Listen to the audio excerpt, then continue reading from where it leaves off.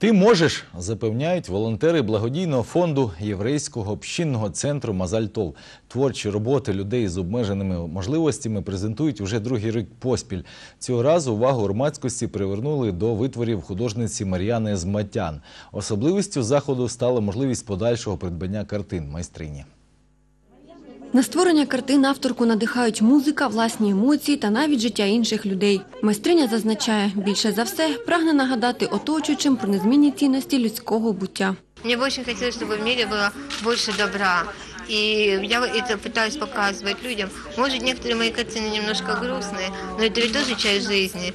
И если люди увидят э, грустную сторону, они захотят повернуться к светлой. В експозиції близько 60 робіт, виконаних фарбами, олівцями та навіть у техніці комп'ютерної графіки. Персональну виставку майстриня демонструє вже вдруге. І знову в рамках акції одного європейського общинного центру Мазальтов. Смысл акции очень простой – донести а, миру, нашему городу и просто неравнодушным людям а, информацию о том, что есть замечательные, прекрасные творцы, что есть замечательные творения. И мы очень хотим, чтобы эти творения стали достоянием тех людей, которые умеют ценить. Дуже подобаються її роботи в мініатюри.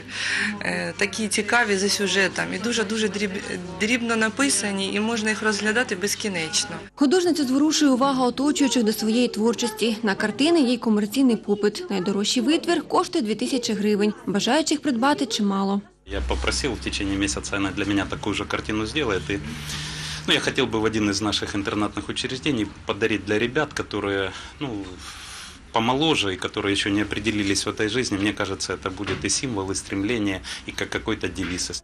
Сповнена натхнення та нових творчих ідей, Мар'яна Симбатян уже розпочала роботу над сценарієм театральної вистави. Спробувати себе у новому амплуа мріє вже наступного року.